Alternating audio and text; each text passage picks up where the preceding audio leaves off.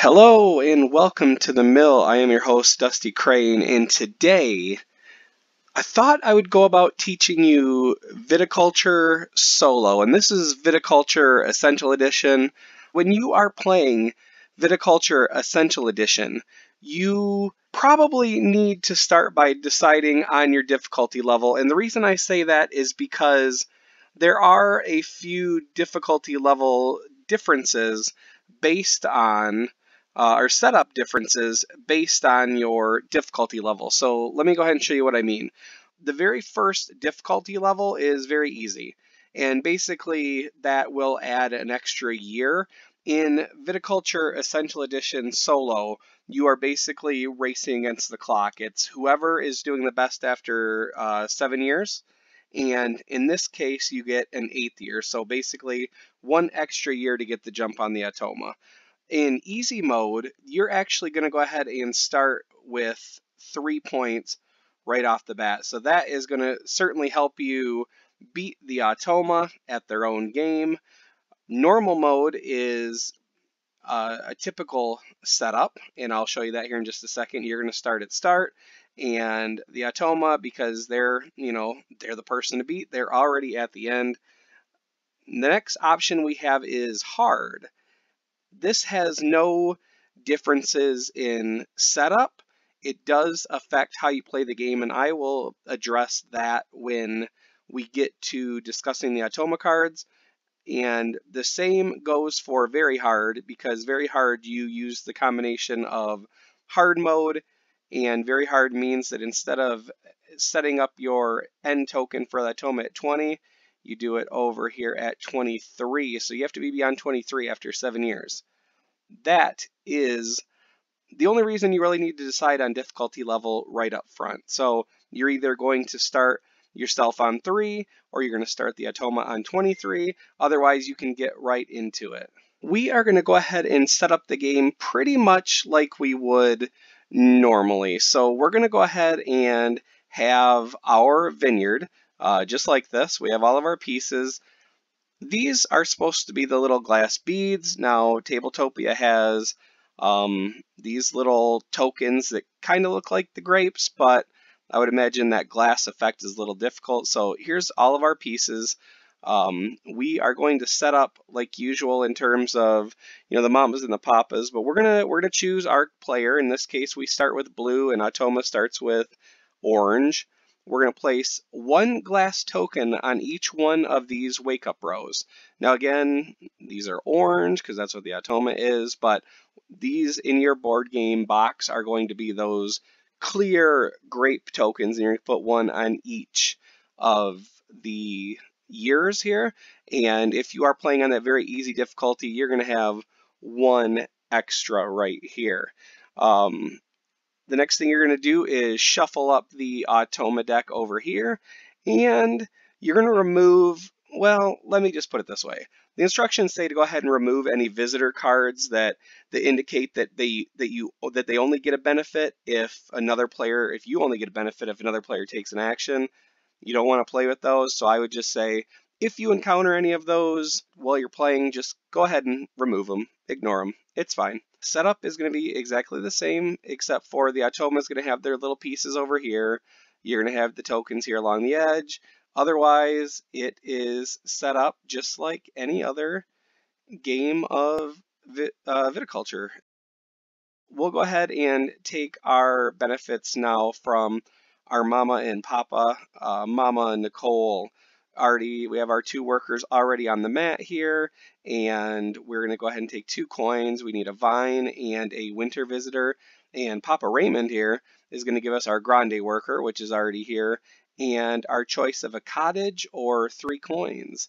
So for simplicity here, I'll just take a five, and then we'll grab a vine card here and a winter visitor. And do we want another three coins or do we want that cottage? Well, in viticulture, those visitor cards are pretty important. I couldn't really tell you whether or not they're super important for the, you know, for the for beating that Automa. So let's go ahead and take the cottage, um, just because to get ourselves some extra, you know, visitors. We'll go ahead and take that. We don't, we don't need the money right now, and uh, hopefully we won't. So that is the setup. Let's go ahead and talk about the goal. The goal, as I mentioned, is at the end of seven years or eight years, you basically just want to be ahead of the Automa here. Over the course of seven years, you got to beat 20 points. Gameplay, that takes care of gameplay. Let's talk about this wake up chart. What are these little glass beads or these grapes that are here on the wake up chart? When you are playing viticulture, you are going to take your little rooster and you are going to decide what bonus or what benefit you want. So let's say right off the gate, um, you know, probably would probably go for the, the worker, but maybe you're not ready for that yet. Um, maybe I don't know what I'm doing, but I'd go here maybe, and I'm going to take this little bead and I'm going to go ahead and, and just put it by my board somewhere. Um, and we're going to take our one victory point and you know you go ahead and collect that bonus whatever it is. And the next time and you're, you're going to go ahead and play out the year like you usually would. Now I'll get to what that means with the Automa here in just a second but basically I just want to explain this wake up chart. At the beginning of the next year when you go to choose where you're starting you can no longer choose this sixth year. That marks that year is already gone so maybe this next time you're going to go ahead and take a vine card and you're going to take this uh, token again.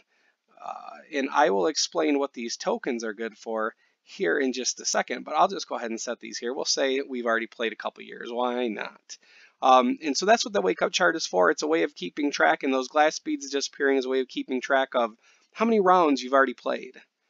Now let's talk about, now let's go ahead and talk about these bonus action tokens. Um, and that's what these glass beads are and what we've set aside here on our next to our, our vineyard here. These are bonus bonus action tokens, and I'm just going to move these up here for simplicity. Um, yeah, so when we are placing our workers, I should have grabbed one of our workers. So when we are placing our workers on the board here, and let's say we were wanting to give a tour. We're going to ignore the order of operation here for just a second. I, we only, because it's a two-player game, we're only using these far left spaces. So, you know, this one, and that one, and that one, and that one, and that one. Basically, all of the spaces that do not give us a bonus. This is just, you, you know, putting these things in place, and when we get you know what the action is. Give a tour to gain two dollar to lira. Uh, build a structure. Draw a vine card. But what these tokens do is these allow us, so we spend them. Once we use them, they're gone. If I was to give this tour and gain two, I could go ahead and say, I'm going to go ahead and use this bonus token and you know just discard it somewhere. Um, and I'm going to go ahead and take that bonus. So then I would give myself a coin. Or if I was over here and, and selling some grapes, um, and I wanted to spend this bonus action token, I'd go ahead and give myself that victory point. And so that's what these are. These are opportunities for us to gain the bonuses that we otherwise wouldn't gain in a two-player game. So whether we want to gain, uh, you know, Lira here, or an extra vine card, or to plant an extra vine card, um, whether we want to draw an extra vine card, or play a extra uh, visitor in the, the summer or uh, you know whether we want to draw some wine orders. So basically these bonuses that would otherwise be unavailable to us um, are available. So maybe that's your strategy is you want to go ahead and use these victory point spaces. Um, cool, that's that's one way to go about it certainly. So that's what those bonus action tokens do. Let's go ahead and talk about these uh, Automa cards. At the beginning of each season where you are to place workers, you're first going to draw an Automa card, and then you're going to place either 0, 1, 2, or 3 Automa workers on the action spaces on the board in the current season. I'll show you what that means here in just a second, but let's go ahead and flip over one of these cards. We are going to pretend like it is a, a time to place workers. And you know what? Let's go ahead and look at what that means. Here in the summer, we have worker placement, and here in the winter, we have worker placement. In terms of this first card, we're placing summer workers. we're only looking at this green and yellow part of the card. And so what we would do in this particular instance here is we would place one of the, and, and the Automa has all of their cards. They're playing blocker, so they're going to go ahead and on their turn, they're going to go ahead and put a worker there in draw card. In they're going to put a worker in play, or I'm sorry, in uh, play a spring visitor card. So basically, if we are not wanting to use our grande worker, those two spots are unavailable to us. So in this case, we would only play those two. Now you may be wondering, why are we not playing this? Well, you see this T right here means that this Automa card is uh, applies to the Tuscany expansion. So if you look on this board, there is no option to buy or sell one field, um, nor is there an option to build one structure or give a tour to gain two. We have variations of that. So here we see buy and sell one field. Well, here in the Essential Edition Board of Viticulture, we have sell at least one grape or buy and sell one field. Well, this is a, a separate option uh, on Tuscany all by itself. So when we're playing Essential Edition, we basically ignore these options that have the T on it. In this particular case, uh, this would be the first card we drew. We block those spaces from us, and then we would go ahead and take our, our summer uh, worker placement turn. So we would decide, you know, if we wanted to play, you know, a worker, and uh, in this case, we'll go ahead and, you know, I had a guy here on sell at least one grape. So it was it would be at this point where then I would go, well, you know, I wanted to do this, but I can't. I can use my grande worker if I want to, but I'm not going to. You know, maybe I'll go ahead and uh, just, you know, give a tour. Or maybe I'm going to hold on to all of my workers until um, the next season, maybe just two seasons in. It's what I'm pretending we've done here. Uh, it's not too important to me. But whatever case, I'll go ahead and place my workers. So you know what, for the sake of this, we'll just go ahead and set I uh, or say I we'll say I gave a tour and gained some money. I'm not actually going to move the money over, but we'll say that was my turn. Uh, we move on to fall, and I would draw a visitor card, and maybe I would go ahead and take one of these. Uh, we'll just move that to my hand here. Uh, maybe I would take one of these. And then let's see here. And then because I have the cottage, remember, I would go ahead and I'll go ahead and take one of these two, because why not? Why not? Move these off here. I'll move them into my hand, and then I'll hide them. Okay, so that would be our, you know, gaining our, our visitors. And now we've moved into the winter phase. And so now I'm going to go ahead and play another card here. And the Automa is going to cover up the build one structure. Or I'm sorry, we're playing in the winter. Geez, if I'm teaching you how to play it, I should at least teach you right, correct? Um, so because we're in the winter season, now we're going to go ahead and play these red and blue spaces. Now this red one is a Tuscany only, so we don't need to worry about that. Um, we are just going to play these these two bottom, which is in the winter they're going to block the the play a winter visitor card card up there or take that spot, and they're also going to cover up the fill a wine order.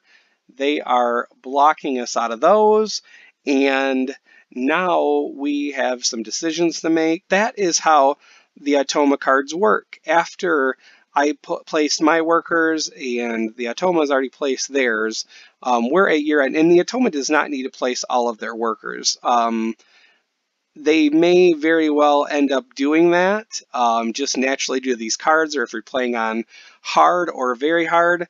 Um, you know what? Let's go ahead and talk about uh, had you chose the hard difficulty, because the way the hard difficulty works is let's say we are in the, let's go ahead and I'll move these workers off just so you have a real good idea of how this works.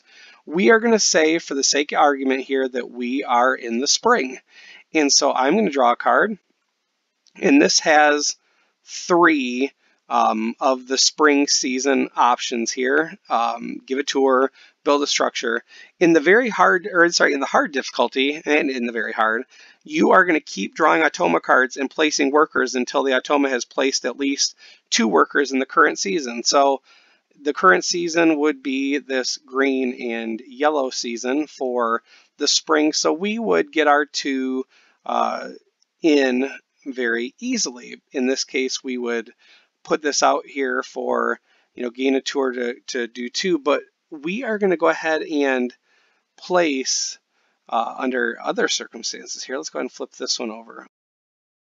We'll use this as an example because we are playing uh, Tuscany, we are not playing Tuscan here. So build one structure. So we would go ahead and cover build one structure here and there's no other action to take. So we're also uh, we need to keep adding Automa to the board until we fill this card. So we put one on build one structure. We're even going to cover up the, the fall one with draw a, a wine order card here and fill a wine order card.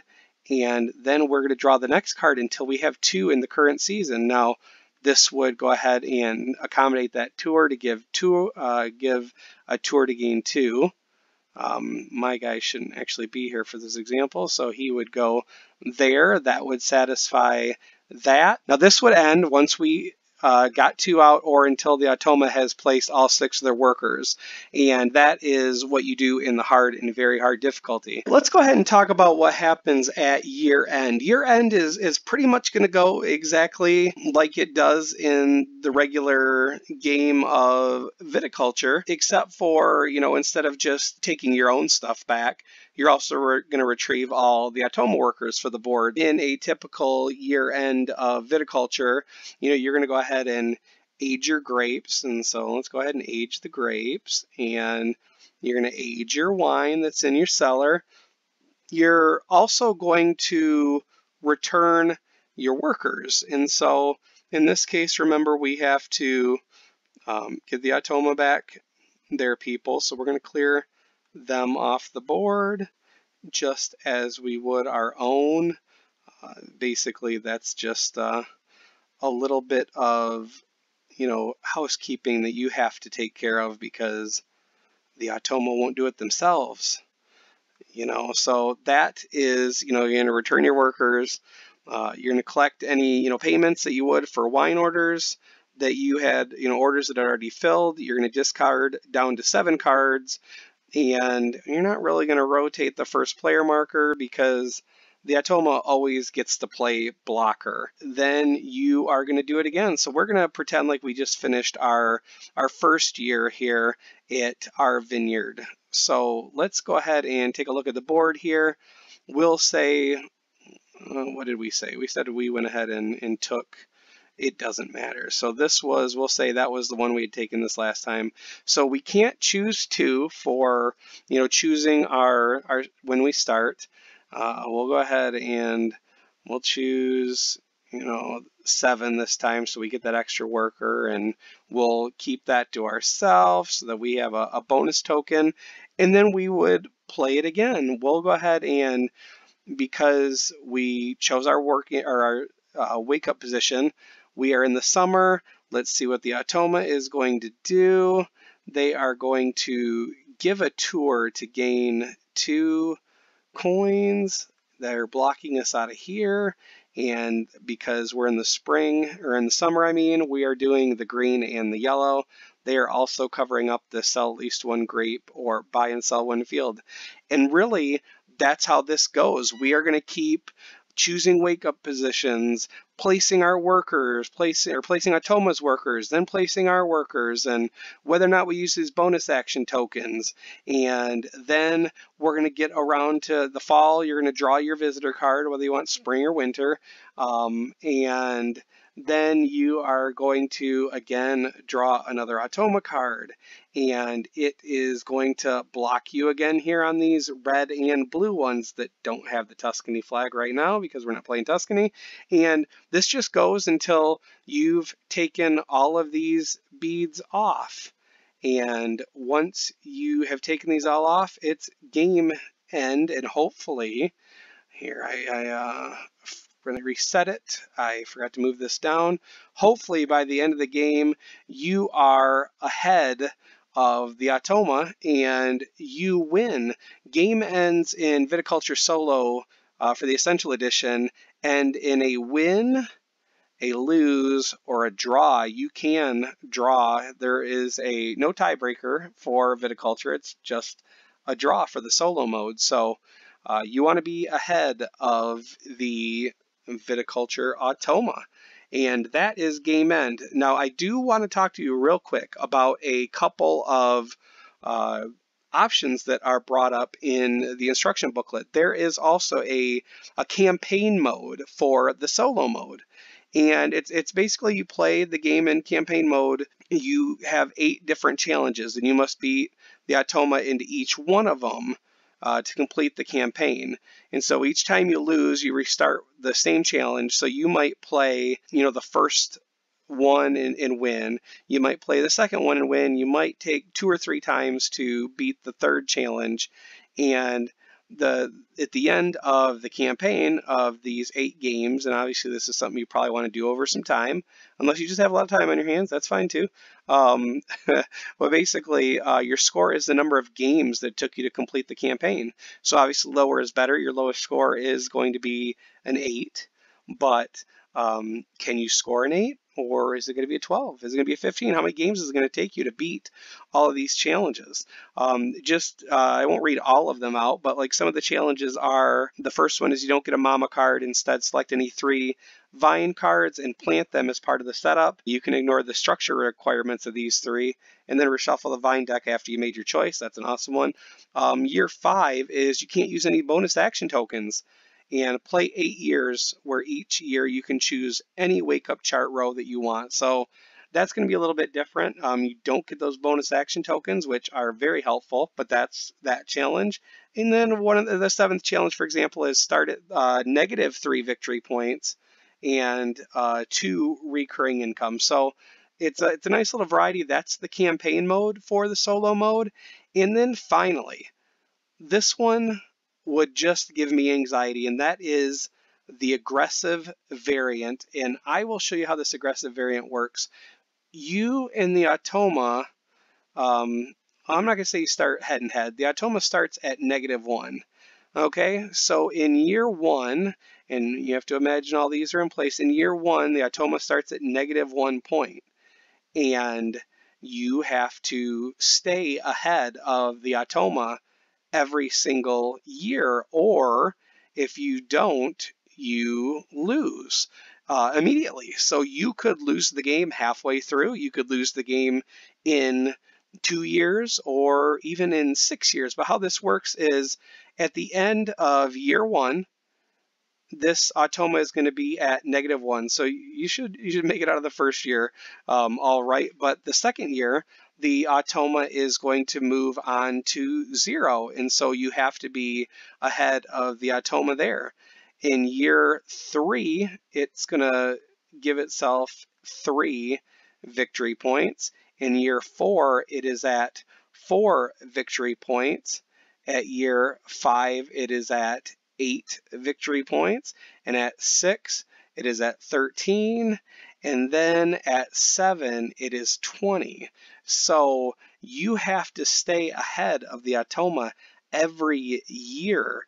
And I got to tell you, that, like I said, that would just be too much stress for me to know that I've got to be banking these victory points uh, year in and year out. I mean, despite the fact that you're supposed to be doing that anyway, it would just be a lot. So, yeah, I hope I hope this uh, was helpful. I, I know I elaborated on uh, some of the points a little bit much, but I'd rather you have a little bit too much information than, than not enough. But as usual, if you have any questions, go ahead and leave them in the comments. Um, I will uh, one day uh, show off the, the Tuscany solo mode too, but I mean, you get a, a really good idea here uh, of how that works too, is, is you're just going to be using these uh, these T flags too, but I really like the solo mode for the Automa for viticulture because it's so easy to run. It's based because it's just blocking you Um, it can it's one of those where it's like if it if it puts the automa in a place, if it puts a worker in a place that you weren't going to go, you you feel like, whew, I dodged a bullet with that one. And if it puts one where you're going, it's that that nice kind of pain of going, oh, do I want to use my grande worker? And it's especially especially hard choice to make if you're in the in the summer when it happens and you go, oh, but what if I need to use it in the winter?